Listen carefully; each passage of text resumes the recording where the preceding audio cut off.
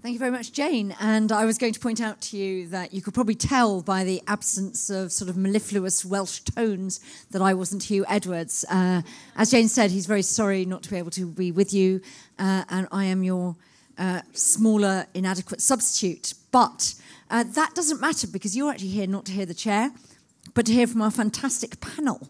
Uh, we've heard from everything uh, academia has to throw at you through the British Election uh, Survey this morning.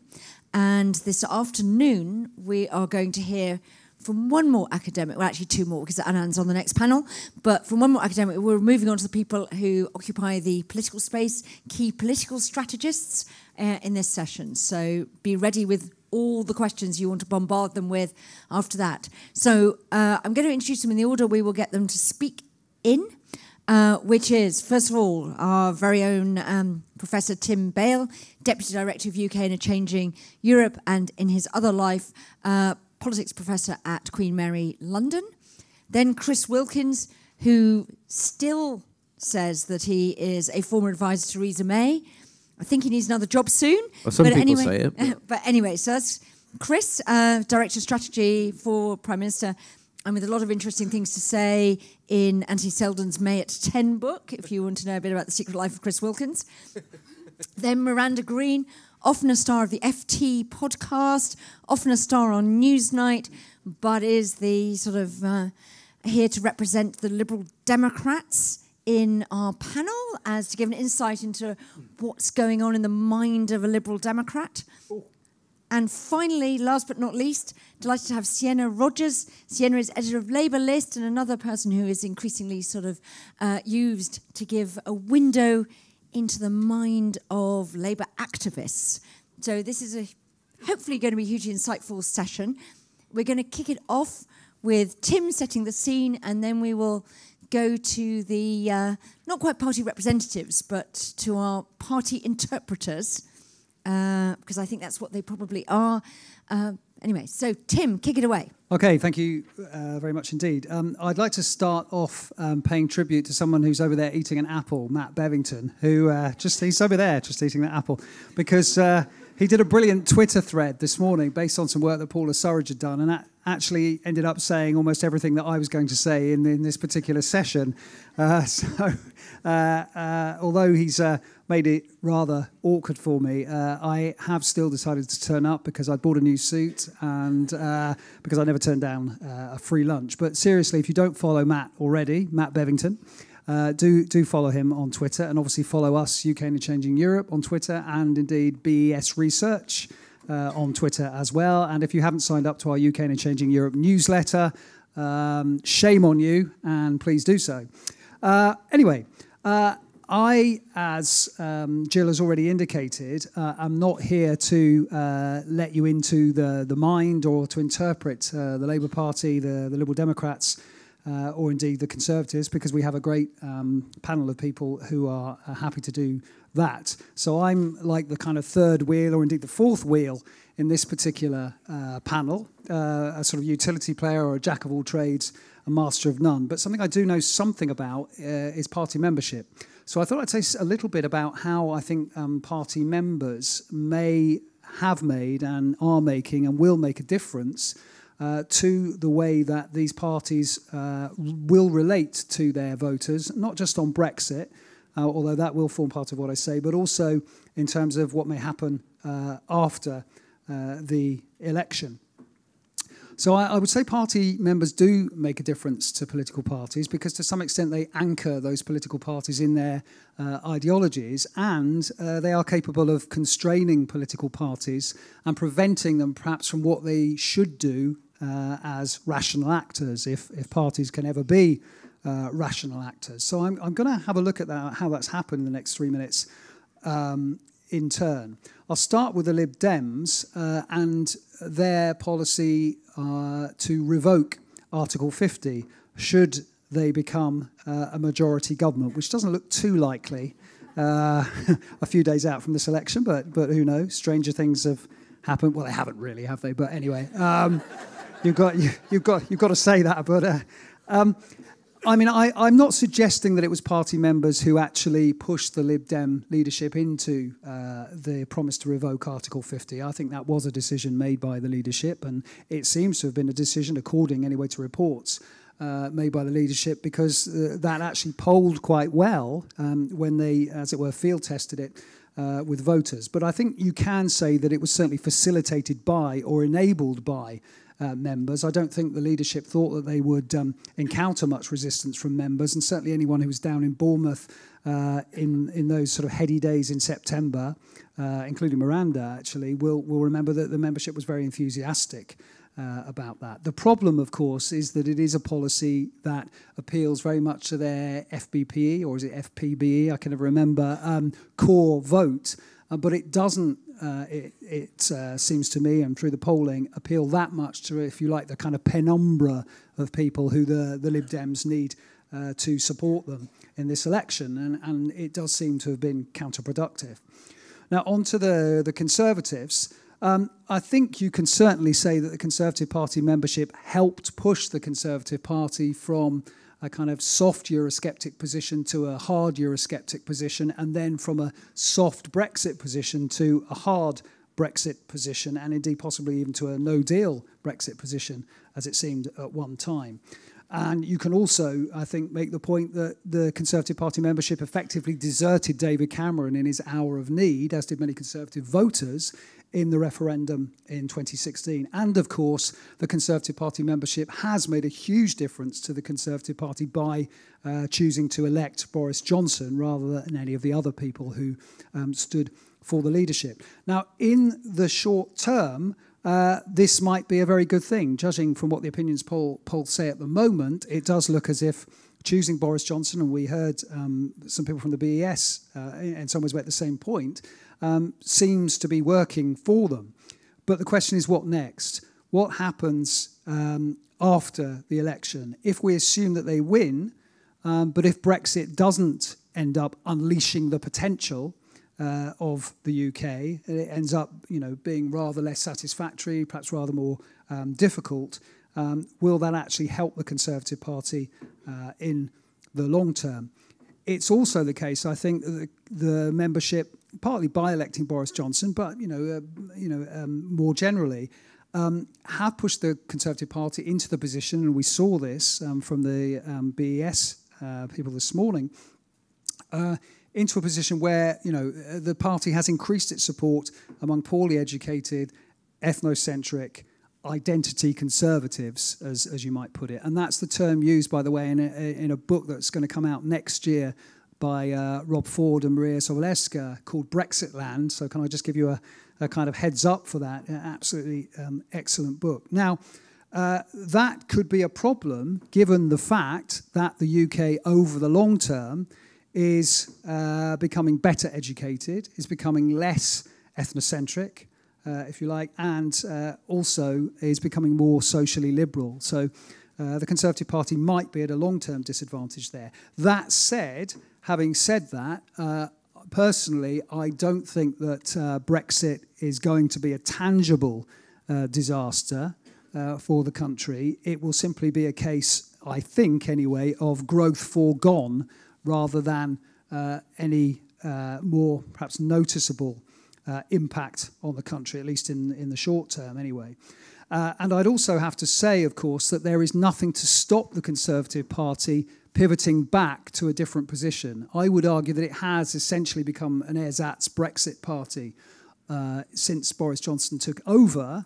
Um, but everything we know about the Conservative Party, and I've, I've up, uh, you know, bigged up some other people, um, so I'll big up something I wrote in, uh, in Bloomberg um, last week uh, about why the Tories are so good at winning. Um, you know, this, uh, we, we have here a party that is perfectly capable of swerving between one alternative and another. And then finally to Labour, very, very quickly, the dilemma is in some senses reversed for Labour. Uh, in the short term, the fact that the, um, the membership has created this party led by Jeremy Corbyn, which is very left wing, very socially liberal, means that it's very difficult for the Labour Party to kind of reforge that coalition that New Labour uh, forged so um, brilliantly between uh, the classes. And in the short term, that does look as if it's going to cost them uh, this election. So, in other words, for the electorate of 2019, it's not the ideal position. But for the electorate of 2020s, 2030s, 2040s, who knows, um, that could be uh, very much a, a market worth uh, tapping into. Um, I think uh, to, to finish up, uh, that the only way perhaps that Labour could have squared that circle between being very socially liberal and very left wing would have been to elect a leader uh, who had more credibility among floating voters, and it didn't do that, which is why, to end, I think what happens when and if Labour lose is going to be crucial.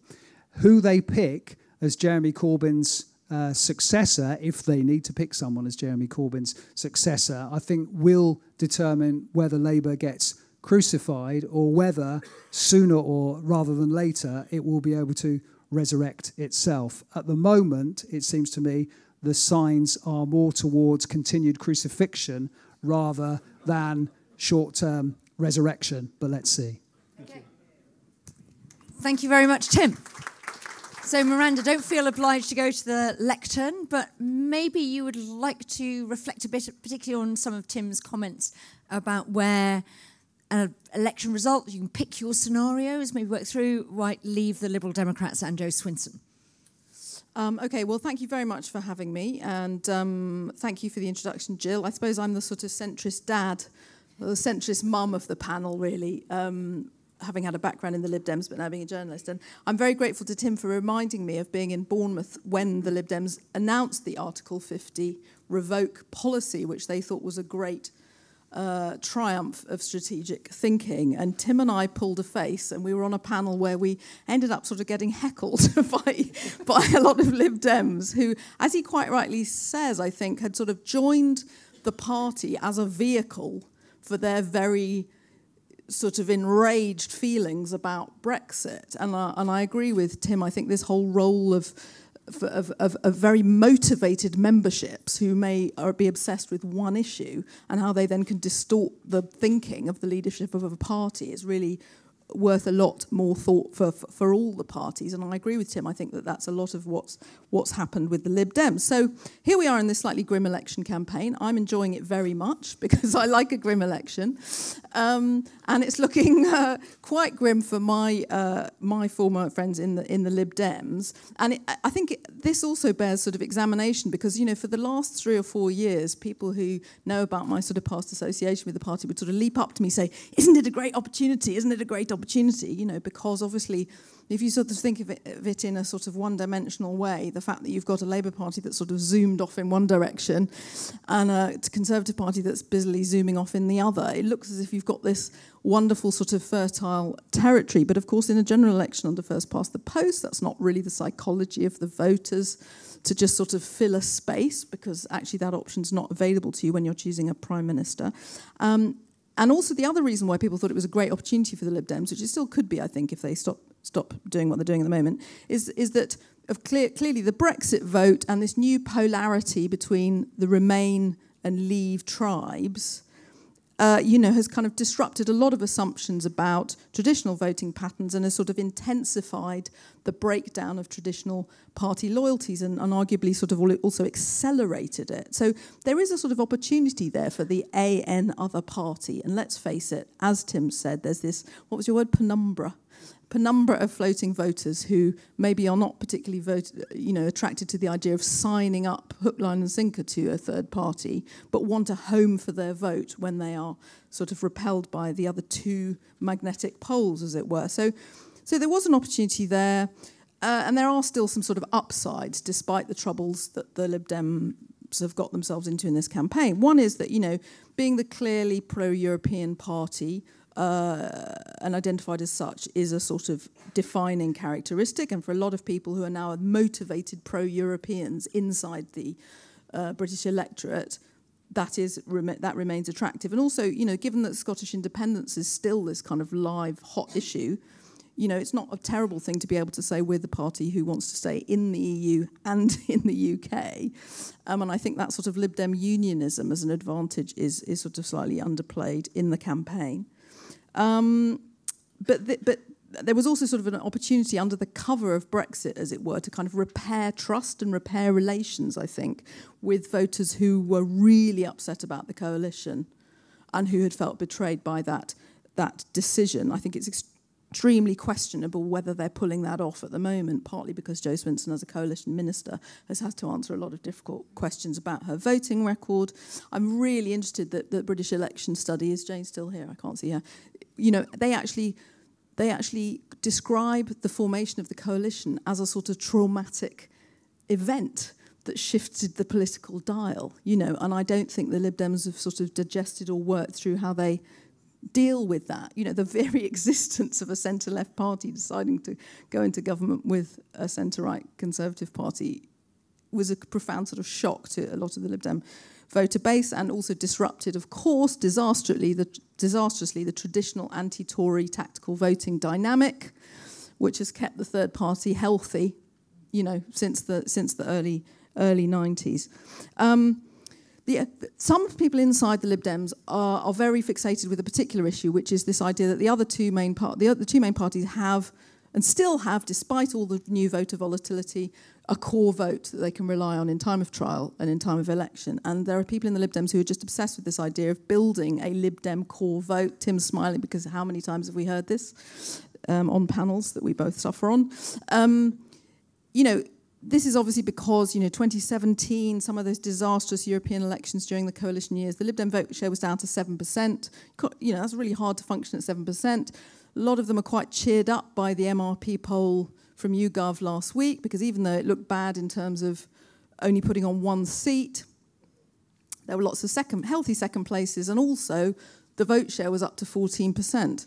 And of course, as we know from the SNP in Scotland, if you can concentrate a vote share healthily under first past the post, you can actually put in a decent result on the night.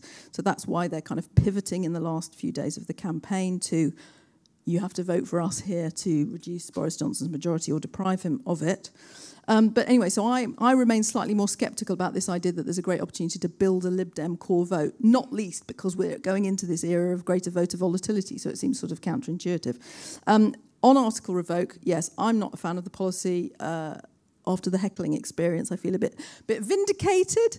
Um, uh, and I think it's it, it's not working for, for, for, for, the very good reason that it sounds sort of as if you want to ignore the last three and a half years of British political history, but also because I think the Lib Dems have one role in this campaign, and that is to be the people who've not gone bonkers.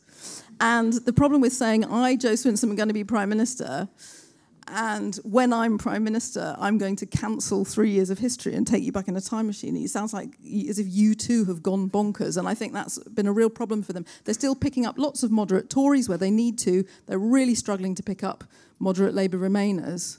And that's going to be very difficult for them on the night. I should stop because Jill is making eyes at me. You should stop because there's going to be a lot of time for discussion afterwards. And we want to hear from Chris whether he recognises the place that Tim thinks his Conservative Party is moving to, or whether he thinks that actually this is a temporary phase, pick up some voters, pass the Brexit Party, go, win an election, and then conveniently shed off that skin and become a one nation Tory party again, uh, just without David Gauke and Philip Hammond. Anyway.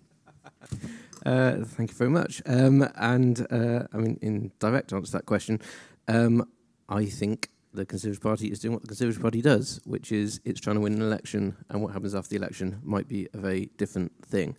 Um, so, what I thought I would do, um, uh, if I may, is just talk a little bit about, I think, what the strategy is for the election and where I think we are. Um, what this election is actually about, which I think isn't always quite um, what people think it is, uh, and then uh, the third thing as a three-part list as a speechwriter uh, to say where what that means about where we go next. And um, uh, and just for a bit of context, uh, while it is true that I often get introduced as uh, Theresa May's former director of strategy, um, which uh, indeed uh, I am, um, I've next year will be the sort of 20th year when I've been working sort of closely with the Conservative Party. Um, so I've been in Westminster politics for a long, long time. Um, and so I know the party quite well, and in the work I do now, much I'm not working for them. Um, my my agency is uh, supporting them in, in certain ways. So I have had some insight into the way that they are seeing uh, the campaign, um, and I also uh, lived through the 2017 election campaign. Um, and so everything I say will be seen through that prism. And uh, as ever, uh, I know you all think you're here for a conference, but actually, this is part of my group therapy ongoing. Um, and thank you to Anand and the team for pulling this together because it's, it's good for me to get it uh, all, all off my. It's good to talk. It's good to talk. Um, but look, I think where we are, uh, and just to pick up some of the points that have been made, is, is um, that uh, the Conservative Party at the moment under Boris Johnson is pursuing really the strategy that uh, Theresa May should have pursued in 2017 and, and didn't. Um, and so I recognise a lot of it. Um, and what does that mean? Well, firstly, um, what's striking is that Boris Johnson is positioning himself in this campaign as the change candidate. So often in elections, you have sort of one party arguing for change, another party arguing for, you know, stick with it, don't change horses midstream, etc., etc. Boris Johnson this election has been very clear to say that he actually is the change. Um, and he's not the, the change that Jeremy Corbyn offers, which is, you know, uh, sort of out here, extreme and mad and all that kind of stuff, as the Tories would put it. But he offers change nonetheless. And he's therefore running against uh, nine years of Conservative-led government. And that is a deliberate strategy. Um, you know, they don't, uh, for example, seek to defend austerity particularly. They sim simply seek to move on from it and talk about the benefits of, of the upside now that we've been through that process. Things like that. But that's a critical strategic decision um, which uh, Theresa got wrong in 2017 and which I think Boris Johnson has got right. And he's made that decision because he recognises that the referendum in 2016, yes, was a vote about our relationship with Europe, but it was about so much more, and it was about people uh, calling for change in a whole raft of other areas. Um, and so much as the manifesto this time around uh, is wisely not as detailed as it was in 2017, um, there's enough in there to neutralise some of the attack lines from Labour and to offer a sense of kind of where we're going. So the critical uh, point at which I thought, I think they're going to get this right, was when early on in the campaign, they started talking about, yes, get Brexit done, but then they said, unleash Britain's potential. And it was that, that caveat, that sort of second clause to the strapline that thought, right, they get this. They get that this is all about representing change and standing for, for change. And clearly they think Boris Johnson can do that in a way that Theresa couldn't because you know, he hasn't been a long-standing member of cabinets over those years and things like that. So he can, in himself, embody uh, that, that change message. So I think they're getting that right. Um, what we all know, of course, is that the strategy overall is fundamentally to unite the Leave vote uh, and the centre-right coalition, um, and then to hope that the uh, other side sort of remains split. And this is where I think uh, the Liberal Democrat position is interesting, um, because much as uh, Jo Swinson is unlikely to be the Prime Minister uh, in a few days' time, she may yet, as a result of her fairly poor performance, get to decide who the Prime Minister is. Um, you know, when we went into 2017, we just accepted the fact that the Lib Dems would perform fairly well and we might lose some seats to them. That was a given. Um, and indeed, it was sort of essential because it would stop Labour uh, gaining certain seats. Um, and it didn't happen. And part of the story of 2017 was that uh, the Liberal Democrats underperformed and Labour were able to squeeze them and pick up the votes. We're starting to see a little bit of that again. You know, the Liberal Democrats again have not performed in the way that the Conservatives calculated they would, and you're seeing this return to two-party politics, and that's really bad for the Conservatives. They don't want that. Um, now, we're not seeing it to the same numbers as we saw in 2017, um, but if it were to continue, um, we might end up in a situation where um, the Conservatives fall short of a majority. If they fall short of a majority, it's very, very difficult to think how they would put a governing coalition together and you then turn to the other side, and at that point, however many seats they have, Jo Swinson might then suddenly have uh, a choice to make about who she's going to support for Prime Minister, and she said she won't support Jeremy Corbyn, so you know, who then would it be? So the sort of bizarre situation of Jo Swinson not being the Prime Minister, but potentially choosing the Prime Minister, is for me, and for the Conservatives, the nightmare scenario. Um, but we're not seeing that um, quite enough yet, that, that momentum for Labour. And I think that brings me to my sort of second point, which is kind of what is this election really about? And of course, as we all know, right, it's about Brexit. Everyone sort of gets that. But Brexit isn't enough, and Brexit wasn't enough last time, and it isn't enough this time. And for me, what I think the most significant thing is, is that actually this election is really a referendum on Jeremy Corbyn's leadership. And if the red wall that people talk about does collapse and move to the Conservatives, that's as much as anything because people are rejecting Jeremy Corbyn and his style of leadership as about what the Conservatives are offering and as about Brexit. Um, if you saw Channel 4 News on Monday night and the focus groups that my old colleague James Johnson conducted for them, really fascinating. Former Labour voters from 2017 all now saying they just didn't like Jeremy Corbyn, they didn't trust him, and therefore they were prepared to support an Etonian conservative, which is uh, bizarre in many ways. But I think back to that campaign in 2017, in a moment when one of the lead strategists, a guy called Mark Textor, came over to me, and we were struggling then to think about how to talk about Jeremy Corbyn. And Mark Textor said, Look, we've done the research, and the line is that Jeremy Corbyn isn't Labour. And that's the line that works. And we didn't have enough time in 2017 to talk about that. But that's what the Conservatives are running this time around. And the focus groups from Monday night demonstrate kind of what that, the impact that that can have. And so to come to the question about what next, I think it's a mistake, or potentially a mistake, to think we're seeing a grand realignment of voters. In this election, if the Conservatives get through, it's because they've got the benefit of the doubt, Brexit has helped, but Jeremy Corbyn was the Labour leader. And I don't think they can think necessarily that they've therefore secured a long term governing coalition like that. And I think you'll see Boris Johnson, depending on the numbers, and all my answers to your next questions are going to start with the line, it depends on the numbers. If they get through, depending on the numbers, I think you'll see him pivot back more towards a one nation agenda, which is who I think he really is. Thank you very much, Chris. Um, Sienna, quite a lot of interesting issues for you to pick up from Tim's analysis of Labour's ability to morph and uh, and Chris's sort of idea that this is actually a referendum on Jeremy Corbyn rather than a decision on Brexit getting it done or not. So, what's the perspective from Labour? So, I'm going to talk a bit about the effect it, that Brexit has had, obviously, on the Labour Party uh, and in this election and 2017 election and, and after this election as well.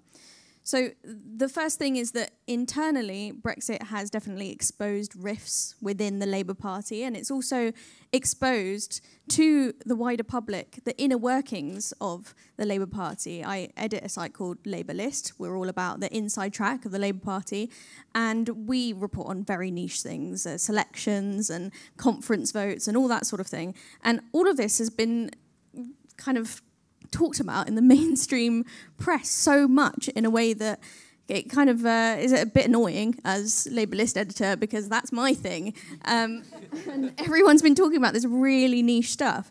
So it's really exposed, and I think this is something actually that a lot of people haven't really got to grips with yet, but it's exposed at the fact that the Labour left, yes, has taken control of the Labour Party in terms of the leadership, increasingly in terms of the parliamentary party with the new selections, a lot of last minute selections in safe Labour seats or Labour held seats. Um, I don't know what's what's safe anymore, but um, and the Labour left is not monolithic. It is it's broad. It's it's varied. It's you know the the argument within the Labour Party in terms of the grassroots is often tankies versus trots. It's about are you pro EU or anti EU? What tradition do you come from, the Labour Party? And Jeremy Corbyn comes from a certain tradition that actually wasn't very well considered when he was elected in 2015 and, and 2016. And that's not something people were thinking about for some reason in the Labour Party. There were a lot of people who were on the left of the Labour Party, but also fiercely pro EU. So all of that stuff has now come out more and more, and also more and more since 2017, because at that time we could more successfully pivot to the domestic agenda, and this time that isn't quite possible. So it's shown also the power of the membership, because yes, I mean Jeremy Corbyn has in the past been been anti-EU. To what extent it's uh, the electoral impact of taking a certain Brexit position, or that or that belief system from the past that has affected his decisions in terms of how to handle Brexit as a Labour leader. Um, whatever that comes from, it's come up against the wishes of pro EU left wing Labour members. Um, so, electorally, Brexit has also been very difficult for Labour. It's kind of put a label, though, onto a lot of problems that it has had for many decades. So, I mean, just like in Scotland, it, this stuff was rumbling under the surface. It was going on. It was going on for years, and then at some point, that's it. There was a drop, and and that whole all of those problems were exposed in one election, and that's the risk for the Labour Party in terms of the fact that we have an aging population, and increasingly Labour is reliant on the votes of young people and the fact that you know small towns versus cities labour's vote is increasingly metropolitan. So all of that is difficult and all of that is reflected in the brexit divisions and the fact that labour is caught between being a remain party and a leave party or you know as jeremy corbyn would prefer the party of, of the many not the few the 99% and not buying into this false divide that has been drawn with a Brexit line between 48 and 52.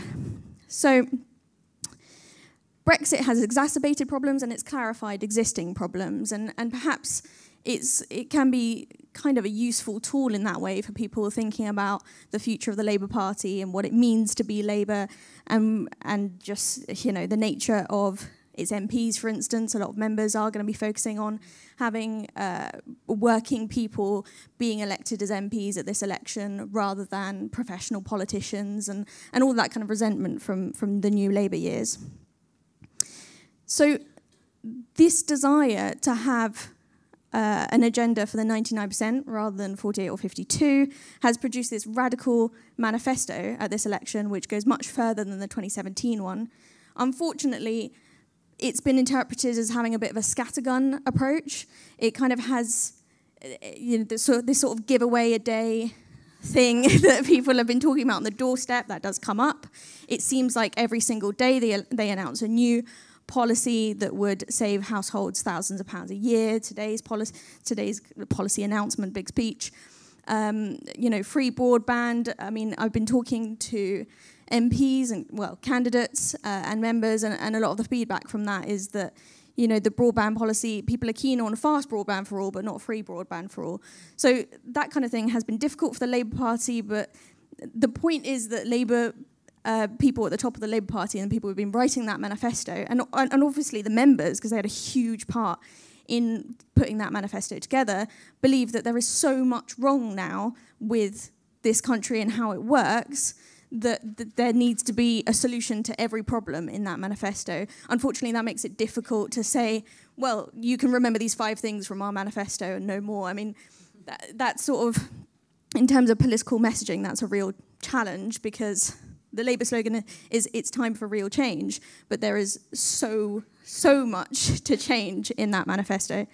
Um, so, in terms of Brexit, I think going forward, it has been really, really difficult. It was it was difficult in 2017, but we could but we could pivot to austerity, all of those issues. It's been much more difficult this time because, as Chris said, Boris Johnson has been the change candidate as well as Jeremy Corbyn being the change candidate, and being the change candidate in a much more kind of direct sense and uh, in a way that is far more understandable to people who haven't been closely following every single policy development of the Labour Party, despite the widespread coverage of, of all of those tiny developments. Um, but I think going forward that Brexit is going to be it's going to become easier for the Labour Party because it's going to be it's going to be easier to oppose for a start. That's already started in terms of Boris Johnson taking over and then hardening that Brexit deal, that has made things much simpler for the Labour leadership because there's a lot of people who have, you know, very principled objections to the idea that we should just ignore the 2016 vote and just go for another referendum. And I think that's that's not something to be ashamed of. I think that the debates that we had over that were completely necessary and the fact that the wider Labour movement were involved, that means trade unions as well as those pro EU members, was entirely necessary. And that's why the position that Labour has come to now is just inevitable, I think. Um, sorry. If so, it's going to become easier, I think, because the deal is harder, but also because if Brexit gets done, Labour loses, then the impact of that will obviously make it easier to say, well, you know, we were right and they were wrong and all of that stuff. But also, if Labour loses, there's going to be a new leadership, whether whether that's immediate or whether that kind of concludes in September, the next conference. And it's likely that that leadership is not going to be from London. And I think a lot of the problems that we're seeing playing out in this Brexit situation is the fact that, I mean, so many shadow cabinet members are from like a square mile, it seems, like Camden, Islington, and Hackney. They're all from that place. And, it, you know, I was born in Camden and I still live there. But it's ridiculous the fact that so many of our top figures are from there. So we're going to see, you know, Laura Pidcock, Rebecca Long Bailey, those kind of northern voices definitely come to the fore. Those are the front runners in terms of that leadership contest that we'll, that we'll see if Labour loses over the next year. So, and those two figures, Angela Rayner, Laura Pidcock, also RLB, they're going to be focusing on this message of uniting working people, and by that they don't mean just the working class in terms of people living, you know, in poverty and and working in poverty, but everyone who relies on work to earn their money. So that's what's going to change in terms of the future of the Labour Party. And, and that's, I think, some of the impact that Brexit has had as well. That was brilliant. Thank you very much, Sienna. So you've had some really interesting insights into where, whatever. So I'm going to go straight away and take some crops of questions, um, and we'll take them in threes. Um, somebody said this was the sign of an inadequate chair. Um, I don't agree. I hope I'm right. Anyway, so let's go and get some questions, and I've got some other questions. So let's go to the two gentlemen sitting next to each other, and then somebody over the far end over there. Yes. Thanks. Um, Keith Best, Secretary of the European Movement, also so you know where I'm coming from, an ex Conservative MP. Um, I, I, really, this is a question to, uh, to, to Chris in a way. I mean, you, you mentioned the, the change in the Conservative Party, and we saw a lot of the evidence of that this morning as well, in facts and figures, how it's reorientated itself around uh, the non-university degree, sort of more working people. Um, and then you say, Chris, that uh, you know Boris will turn back into being a one-nation conservative. Uh, I'm old enough to remember the 75 referendum campaign. Um, also, uh, you know, the Conservatives have broadly been a pro-European party. Uh, Theresa May was, um, not Theresa May, Margaret Thatcher was the one who conceived the single market and the concept of majority voting, so it would actually go, go through. Uh, how that shift in the change is actually fundamental to the very core and nature of the Conservative Party. Do you see that shift in its support remaining? In which case, how is it going to be possible to actually get into that back again, and back into that one nation conservatism? Okay, thank you very much. Keep questions short. I'm sure there are lots of people who want to ask questions. Yes. George Ferguson, former civil servant. Taking advantage of none of you being politicians, I, can I throw a double hypothetical question at you? If the, the best realistic, semi-realistic uh, Remainer hopes came through, so no Conservative majority next week, uh, a referendum and a, uh, uh a pro-Remain, yeah. Uh, what happens after that? I mean, it sounds to me there's a fair chance of confusion, but I'd be intrigued in your uh, taking it from then. Okay, that's a very useful question. And I think there was somebody, is that going to take forever to get to?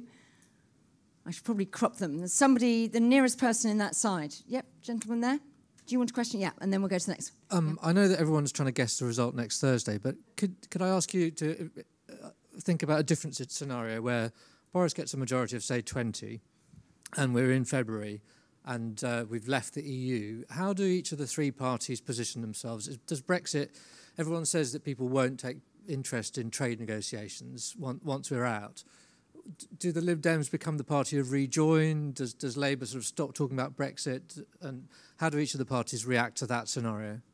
Okay, brilliant questions. Let's uh, let's get stuck into them for starters. So, um, Chris and Tim, um, the Conservative Party, as you see it in the future, it's you know pivoted away from its European roots. It's got the Brexit Party sort of sitting there lurking. Nigel Farage probably hasn't left the stage completely.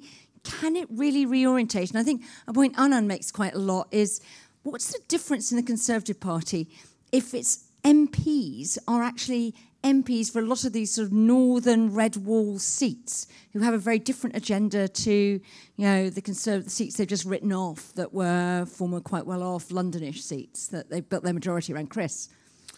Um, thank you. It's a it's a great question, and uh, the answer is it depends on the numbers next week. Um, so, um, but, but, no, no, but, but, but seriously, the um, so when I was uh, working as director of strategy uh, at Number Ten uh, for for that year between sixteen and seventeen, um, the thing I was really fighting against was the Conservative Party becoming the Brexit Party. Uh, I, I didn't want that to happen. I didn't want that to happen because I felt uh, that uh, much as that would be a good enough strategy to win an election, it wouldn't be a good enough strategy to win the election after that and the election after that. So precisely as you're indicating, you know, uh, basically the Conservative Party now moving towards uh, having an older demographic uh, voting voting for it. Brexit being this thing that sort of churns it all up and, and gives people permission to vote for the Conservative Party. But as I say, I don't see it as a grand realignment. I think people uh, in many of those seats will be lending their votes uh, to the Conservative Party, but not necessarily buying into the Conservative Party. Um, so I tried to sort of fight against it, and you know maybe part of the story of the 2017 election was the competing strategies that went on as a result of that. But I think things have changed pretty fundamentally in, in politics, being three years on since the referendum. And I think we're now in a much better place for the Conservative Party to run a strategy that says, actually, let's just get through this election, maximise our vote, um, and then we can then broaden our appeal, and then it comes down to the personality of the, Prime Minister. So I joke about the numbers. It, the, the numbers really matter. If Boris Johnson can secure a majority, and if he can secure a majority of, say, I think something like 25 plus, then you know, it's for his him to do what he will with it. And the MPs at that point, wherever they're from and whatever their background, they will feel an incredible debt of loyalty to him personally for getting them in the House of Commons. And at that point, I think he then has license uh, to roam more widely. And you know, I mean, I know Boris Johnson, and you know, the truth is, you know, I think he does want a much bigger legacy than Brexit. Uh, we, all, we all know what he went through in the, in the referendum campaign leading up to it and the agonising over the decision. You know, he doesn't want Brexit to be his legacy. He, he wants a big domestic uh, agenda, uh, reform agenda. You know, we all know he loves to build things and bridges and infrastructure spending, things like that. that. That's the politician he is at heart. So with the big enough majority, I think that's the Boris Johnson you get. So ironically, if he doesn't get a majority or he gets a small majority, that's when you get the Boris Johnson who is slightly more in hock to the ERG and to that side of the party. Um, so it's clearly in all our interest that he gets a big majority, basically. Tim.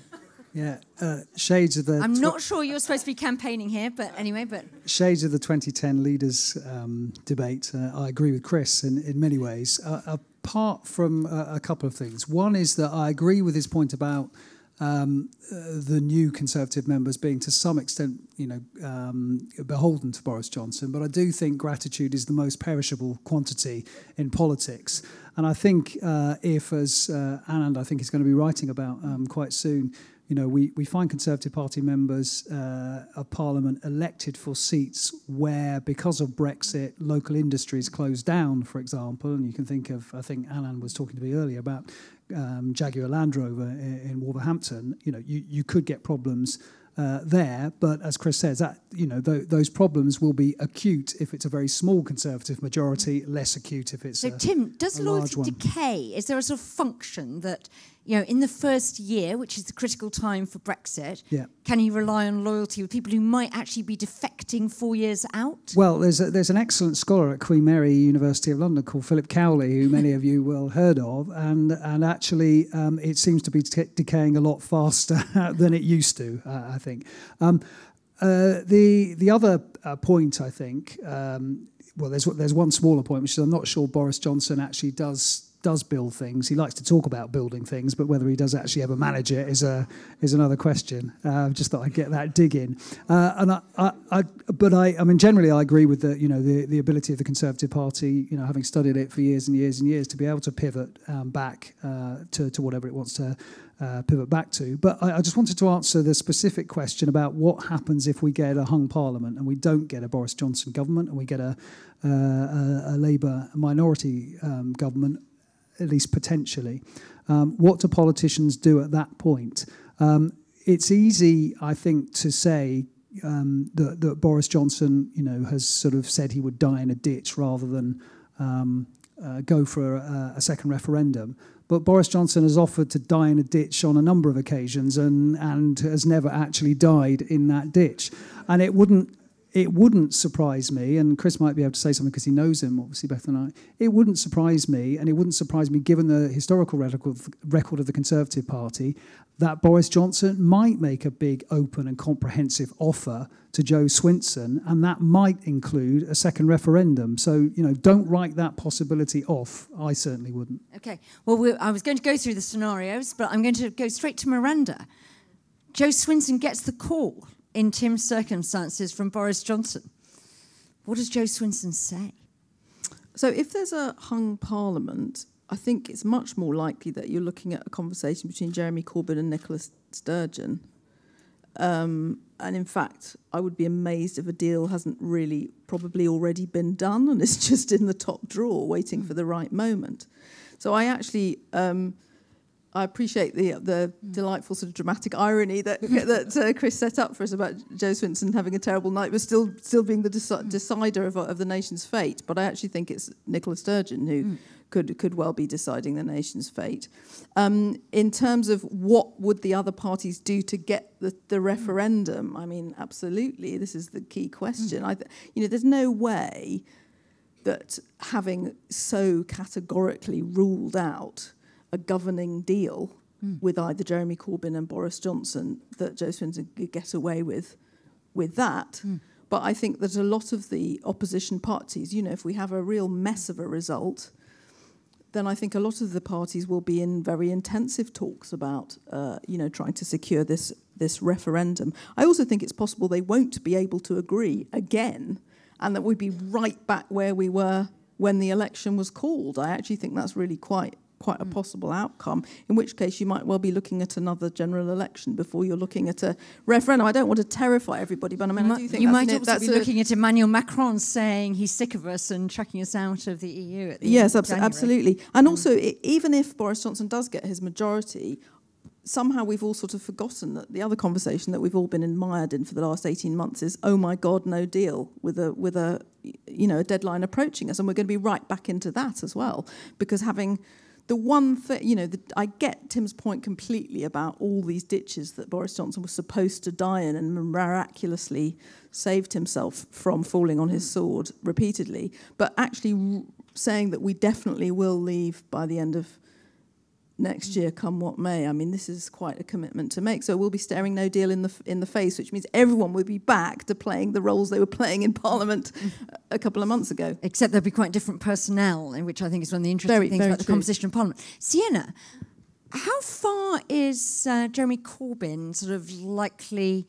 To go in terms of Nicola Sturgeon said, when push comes to shove, you know, if he sees those keys of Downing Street dangling away and all he has to do is agree to an independence referendum on my timetable, not his, he'll crack. I know how to run a minority government. Um, will he crack? Will we uh, get a deal with Labour and the SNP and basically throw the Scottish Labour Party under, under a bus? So I uh, went to Scotland last weekend. I went to Glasgow and Edinburgh, and I visited a few seats and interviewed some candidates and did some door knocking just to find out what was going on up there. It, they were actually surprisingly more more optimistic than I thought they would be, and a big part of that is the fact that on the doorstep.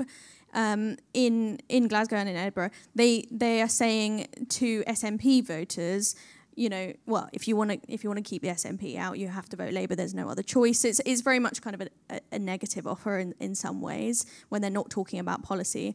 It's in order to keep the SNP out, you have to vote vote Labour. In in places like Glasgow Southwest, where it's very very marginal between Labour and SNP, um, I think Labour has kind of rolled the pitch for uh, basically offering huge investment in Scotland in order to de- delay that uh, Scottish independence referendum. So, you know, just don't want to totally compare this with the Tories, but that you know their huge offer to the DUP.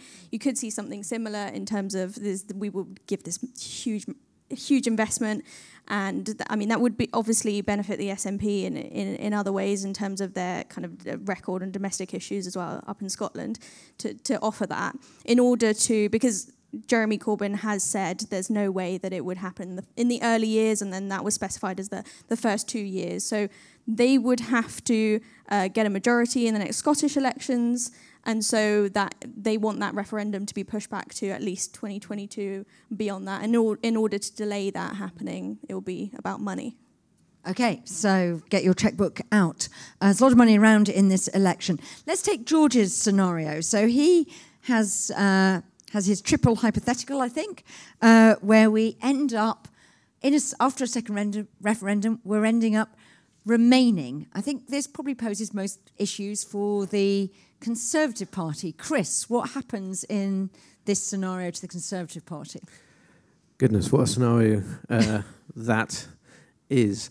Um, no, I, I think uh, in in that scenario, uh, which I, I think I find hard to, to see. I think if there is a, a second referendum, I think there's a very good chance the country votes the same way. One reason why I kind of thought originally it would have been sensible for the Conservative Party way back when to have endorsed the idea because uh, they could have got Brexit through in that manner. But say it were to happen, I think the Conservative Party then does become uh, almost fully uh, the, the, Brexit Party at that point, and not just again on this issue of, of our relationship with Europe itself.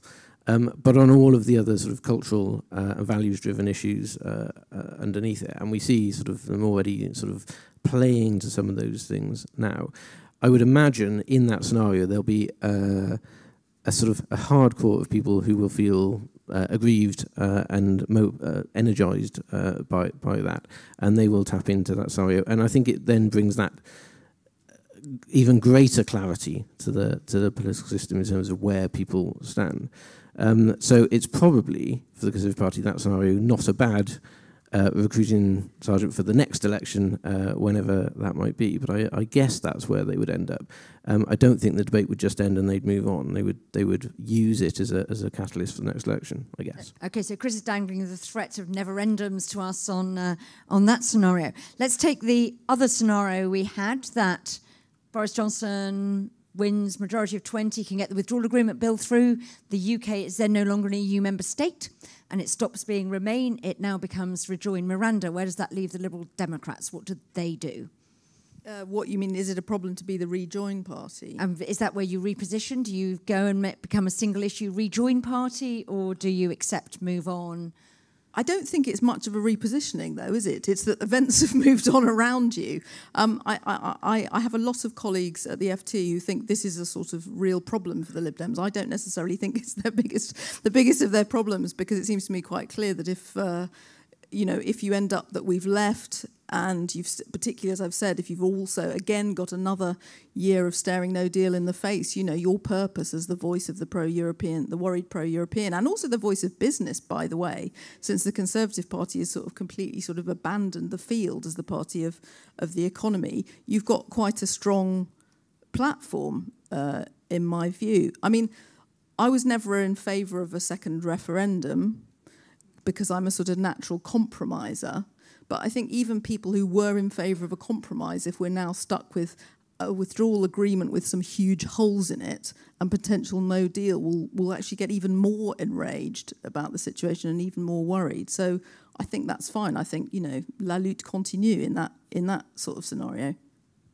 So Sienna, in that scenario, what does Labour do? Does Labour actually get really stuck in? Do we see Barry Gardiner on the radio every morning talking Love about the buzzer on the today program. Trade deals and the nerdery to come. I mean, how much is that thing, or how much does Labour basically just sort of move on and decide it wants to fight across all this other exciting domestic agenda that Boris Johnson is unleashing as part of its legacy?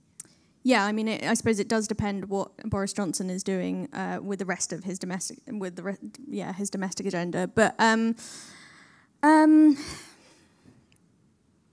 you repeat the question? So the question is basically if if we've withdrawn, so we've withdrawn, we're in phase two, whatever. Actually, what happens? Does the issue go away? Do we sort of, you know, just let it sort of fester down there?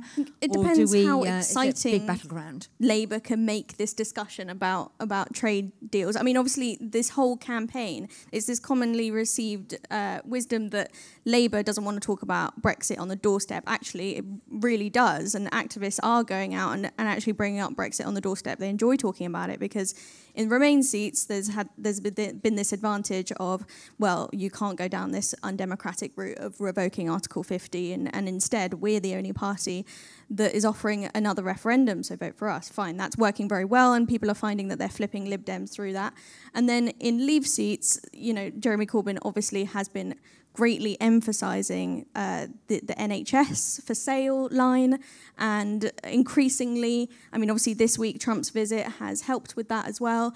And there's there's been you know more and more documents released um, talking about not just NHS but also drug prices being hiked. So all of that is great for the Labour Party, and it's about whether they can continue that discussion. And obviously, it depends what happens with those talks, basically. But it is going to be quite difficult because I mean, as Tim said, in terms of Brexit being a, a, tangible thing and its impact being tangible, that's that's quite difficult because it's more likely to be just a, a slow kind of loss of growth, and it's it's going to be difficult to quantify that. So, Tim, just a question. We'll go back to the audience in a second. We've seen a, a record number of defections during this Parliament. Lots of people deciding, and we sort of vaguely assume that actually the result of defecting is going to be you lose your seat in Parliament. The relatively few of the defectors come back. It may not be true, but assuming that's true, um, do people just decide, well, I've got to stick and change my party from the inside, or do we? Does perhaps one of these scenarios actually trigger?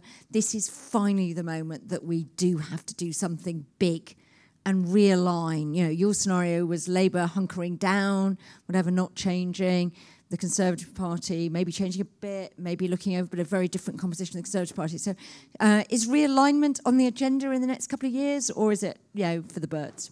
Well, I mean, I think obviously one of the big obstacles is is not only what's going to happen, presumably to the people who stand as independents this time, most of whom will probably lose, uh, and uh, what happens to those Conservative MPs who've defected to the Lib Dems. Um, you know, that that might make a, a, a bit of difference. Um, but standing behind all that is the electoral system. Uh, and, I, and I think for many MPs, that is the big obstacle. They, they look at the electoral system and think, you know, even if we were to break away, for example, if, if Labour does choose, you know, one of the, um, you know, uh, either Laura Pidcock or uh, Rebecca um, Long Bailey, nearly got it wrong there, um, then, then you know, there might be some Labour MPs who, who think there's no future for us uh, here.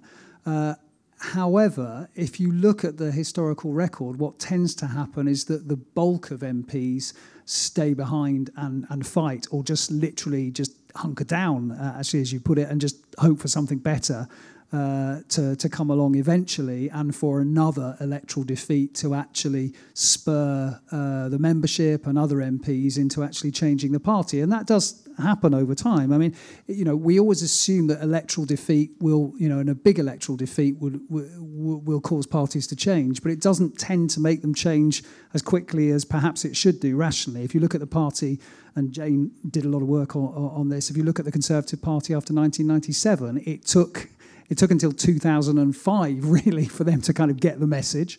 Uh, and it took Labour, in fact, um, you know, slightly less time in the 1980s to get the message, but it still couldn't kind of pull itself over the line until the, the 1990s. So uh, I, I, think if, if I were, and this is never going to happen, uh, uh an MP, uh, I would probably just hope I could stay in there and either begin fighting or or just you know hope that eventually the the electoral um, mathematics will actually you know make itself realise. I think there could have been a realignment uh, in Labour, but I, I, think it's been too late for that. I think there there was a point, perhaps when Jeremy Corbyn was re-elected, where maybe 150 Labour MPs, all those, I think it was 172 Labour MPs who voted against him in the vote of no confidence, could have just walked and become another Labour Party and become the official opposition. But, you know, because they didn't have, you know, the nerve to do that, and I can quite understand why they didn't have the nerve to do that. I, th- I think that possibility is over. Okay, But- Miranda wanted to chip in quickly. Then we'll get some Yeah, only because this is my favourite subject Oh, in the sorry, world. okay. Um, so I think actually there could be quite interesting things going on because the sort of the sort of plotting and whispering about new centre parties and reviving the centre left never stops, even when it looks really unpromising.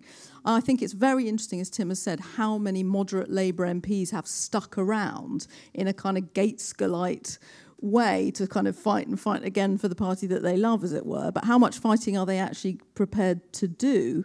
And certainly, when you look at it from the voters' point of view, I know lots of people who are voting Labour on the basis that they've asked their local Labour MP, who's not a Corbynite and has no Jeremy Corbyn on the leaflets, etc., if I vote for you, will you get rid of this man and save your party? So, you know, I think for the voters, it's quite difficult deciding you know how to jump on this and to what the future of the Labour Party is. Um, and having I made a little film recently with Jane, in fact, on sort of whether there is fertile territory for new parties. And one of the when we looked at why Change UK, for example, had failed, it was quite interesting. They were so centrist that they were almost impossible to define. They were right slap bang in the middle on left right, and they were right slap bang in the middle on Leave and Remain, and on uh, you know, sort of values being conservative or liberal, and so therefore people didn't really know what they were. So that's the big challenge for these, you know, this rump of abandoned moderate Labour people, and for those who would like to vote for a party that had them in it and of which they were in charge. Okay, we're going to take a few more questions. I think there was. Let's go to the lady in the front here, and then, and then we'll hand it back behind. Yes. Um, hopefully, quite a quick question. For those of us trying to plan when we sleep on election night, which particular results are the panel really looking out for? Okay. Um, Tim, do you want to just answer that super quickly while we move the microphone back there? What's your first bellwether seat? What time? Uh, well, Eastbourne in Sussex, only because it's where I live and where I grew up. That's not the right answer. It's a. Tory Labour, uh, sorry, Tory uh, Lib Dem marginal, which the MRP has calculated Hmm. uh, will go to the Conservatives, but which uh, I think living there might not. Uh, and then partly because uh, my daughter lives there, Finchley and Golders Green, uh, because that will be interesting to see if the Lib Dems can come from virtually nowhere because of particular circumstances uh, to, to win that. And what's seat. the first first red wall seat that we look for? Oh, you're talking about that kind of really important, about that. boring stuff. Uh, yeah, I mean, it'll basically be the kind of stuff in the West Midlands. I mean, Okay. that's that's normally where elections are won and lost, and I, I don't suppose it'll be very different this time. Okay, West Midlands, yes. And we'll take a bunch of questions now. We've got some people over here as well. There, is there only one mic? Yes. One of the main reasons that Trudeau won the recent Canadian election, albeit with a minority, is because Or voters around. Toronto, um, who are the key voters in Canadian elections, did not vote for the third party, the NDP. They lost a significant amount of support at the end. Why? Because left wing and moderate voters did not want a conservative prime minister in Canada. Is there any likelihood of that happening here, given the antipathy to both major party leaders? In other words, deserting the third party in, in all cases? Thanks. Okay, third party squeeze. Let's come. I'm not sure. Let's go here and then to the lady there. Yes. Yeah. Um, to what extent is devolution going to shift party alignment, given that we saw this morning from the figures from the BES the the way in which it's fractionating across the country, voting uh, behaviour, is devolution going to act as an accelerant to that? Okay, and then just along, if you could just pass it along to the lady in the middle of the row. We know that we have an extremely right wing press in this country, and we know um, that it's paid for and it pays to dig Boris Johnson out of the various ditches that he's threatened to jump into and the bulldozers that he's threatened to lie down in front of as well. One of the things I haven't understood at all throughout this whole grisly process of the last two or three years why is it so incompatible that Jeremy Corbyn should um, be in favour of staying in the EU, but at the same time be highly critical of the EU? I worked in Brussels for many years, and, and I also believe that there is a lot wrong with the way that the European Union has evolved and what it is currently doing. It is failing to do a lot of the things that it needs to do in order to improve not just the life of EU citizens, but the life of the world's population. So I think he's right to be critical of the institutions, but it's perfectly possible for him to think that and at the same time think that we should remain. I'm not sure that's that. Uh, that's really a question, unless you want to comment on that, Sienna. I think it's quite an interesting point, though, about the reform. Actually, the people who've got the biggest reform program in the EU is the Green Party this election. So. Uh, let's go to those two questions, then we'll come right, the sort of squeeze of people who at the end of the day sort of suddenly decide that actually they don't want a right wing prime minister. Chris, are you worried about the risk of a sort of squeeze there? Uh, yes, uh, I mean I think that's exactly the the dynamic. So uh, again, to uh, step back a couple of years, you know, the, what we saw, you know, what people forget about the 2017 election is that uh, Theresa May and the Conservatives actually. Uh, even at the end, polled really highly. I mean, Theresa's votes were incredible, actually, and, and you know, um, better than David Cameron could ever have dreamt of. Um, but what happened in that campaign was, uh, in my view, I should say, uh, that we ran a campaign such that we basically left the way open for somebody else to step in to the vacuum on the other side. And we, we ran a campaign that actually mobilised, helped to mobilise people to vote for Labour. Um, things like talking about fox hunting and stuff like this were all trigger issues that got people to actually go out uh, and vote Labour and and move away from a position where they felt that Theresa May at the start of the campaign they were prepared to give her the benefit of doubt for being a different kind of conservative. She then spent seven weeks basically proving that she was exactly the same kind of conservative that they always feared she was, and therefore a lot of people voted Labour and and you know Labour ran a very effective campaign. Jeremy Corbyn ran a very effective campaign as well. So don't take anything away from that. But I think we gave them a license to do that by the way we operated. So that is the danger this time. I don't think the Tories have fallen into that trap, and I also think the shine has come off Jeremy Corbyn slightly. But we are seeing a little bit of uptick in the polls for, for Labour. As I said earlier, the Liberal Democrats uh, are not performing at the way that I think the Conservatives hoped that they would. Um, so try and be boosting them over the next few weeks. But then, as always in the in these things, um, there's there's arguments on both sides. This tightening in the polls helps the Conservatives now. They've now got a week to say, look, this could really happen. Jeremy Corbyn could be the Prime Minister on the 13th uh, of December, and, and therefore uh, they're using that message and hammering that message. So, um, all that by way of saying, yes, it's a very real concern. It's what the Conservatives are concerned about at the moment. Um, but at the moment, their tightening the polls may just help them ever so slightly. So I'm quite interesting, uh, interested in this question about uh, what difference is devolution making. We had a, you know, a, bit of profile with Adam Price, part of the Remain alliance in Plaid. We have the SNP, a bit quite familiar these days or whatever, obviously applying their own things, getting a bit more sort of scrutiny on their domestic record. I think you know, the Nicola Sturgeon interview with Andrew Neil. Um, how is the sort of devolution politics playing out in this? Is it Making any difference?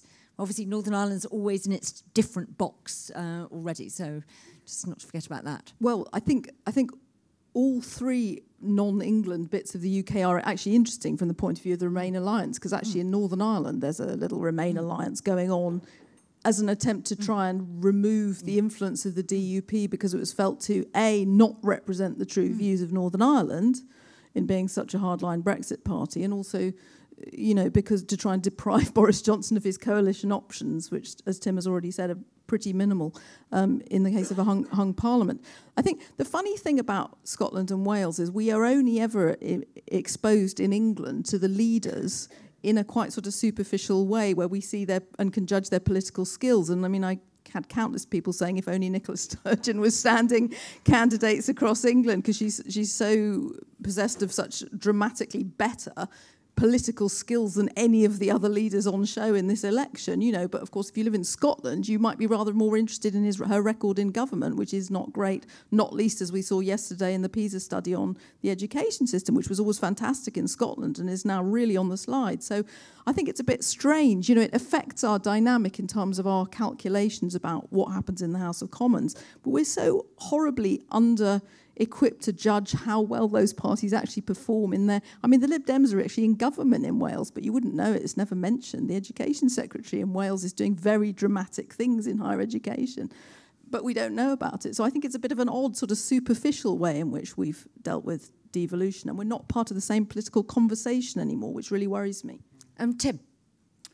Oh, uh, yeah. I mean, I, I, agree with everything uh, Miranda said. I mean, though, I suppose one point I would like to make, and it's a kind of historical canard that people often bring up, which is, you know, well, if, if Labour, as it were, quote unquote, loses Scotland, it can never win again, which is actually nonsense because when Labour's won uh, general elections in this country, it's tend to win them quite big. And in fact, it hasn't needed Scotland in order to be able to govern. So, you know, I would just say in the long term, uh, it's worth thinking that if if the SNP you know continues its domination, the Conservatives actually manage to win a few seats and the Lib Dem hold on to a few seats, and Labour does really poorly. That doesn't mean that Labour can can never uh, win again uh, in in the UK. I think Labour's problems winning in the UK aren't very much to do with devolution; they're to do with other things. And, and, most obviously, as people have already said, I think, and I know some people in the audience won't like this, but uh, a lot of it is to do with Jeremy Corbyn, whether they like it or not. So, Chris, one of the really interesting things has been the Ashcroft poll suggesting that actually a lot of Conservative members see independence of Scotland and Northern Ireland losing them as a price worth paying for Brexit. So, has the Conservative Party basically given up its sort of ambition to be the Conservative and Unionist Party as it still has on its leaflet sometimes? Um, I think this is um, interesting. I was going to chip in on this mm. point just to say that actually I, I think it is true that uh, there's definitely a strain within the Conservative Party membership and amongst the parliamentary party, uh, potential parliamentary party, that they would be prepared to see, um, you know, Scotland uh, go independent uh, if it meant that that was the price to pay for, for getting Brexit through. Um, but uh, what I think is really interesting uh, is that you know we the Conservatives went into that, this campaign pretty much accepting that they were going to lose a load of seats in Scotland. And everyone said, oh, you know, as soon as Ruth mm. Davidson resigned, you know, that's it, you're basically gone. So where are you going to make up these other seats? Actually, their internal uh, polling uh, and research at the moment shows uh, still a pretty strong performance uh, amongst Scottish seats. There's a core unionist vote that is still prepared to turn out for the Conservative Party. So we might see better results there. Um, and I was also actually going to say that in, in answer to the question there on what seats to watch, I mean, I think Wales um, is going to be really interesting uh, in this uh, election, and some of those northern seats in Wales will be interesting. And if you're interested in that, tune into the BBC Wales election coverage that I'll be on next next Thursday night if you get bored of the national national picture. Um, anyway, but but specifically to your question, I think you know ultimately would a strong portion of the Conservative Party be prepared to allow Scottish independence in favour of Brexit? Yes. Um, but it's not looking like that's the choice at the moment that they're going to have to make. Okay, and finally, Sienna, I think it's been very interesting on this devolution angle that that you know Adam Price was sort of signalling out Labour's track record in government mm. in Wales as actually you're making all these great claims on paper, but when you're in government, you're not doing that on social care, whatever. I mean, do you how do you see the battle going in Wales, where Labour's always been really dominant, but seems to be coming under pressure in its sort of Welsh heartlands, as Chris was uh, singling out? Yes, um, and as Miranda was saying, it is difficult when we were watching those debates, and a lot of people conclude that Adam Price was doing really well there, and so as was Nicola Sturgeon, obviously, and. I mean, it, they can. It's just a bit like in PMQs. It always comes up. Uh, Theresa May's classic reply to any sort of NHS criticism was, "Well, what about your record in Wales?" Um, and actually, a lot of the the UK Labour front bench, those are the people who have been well replacing Jeremy Corbyn in the debates recently, in the televised debates, but also responding at the dispatch box, don't have the depth of knowledge to respond to those kind of accusations in a really kind of in a strong way that is actually necessary because our the political conversation is so fragmented.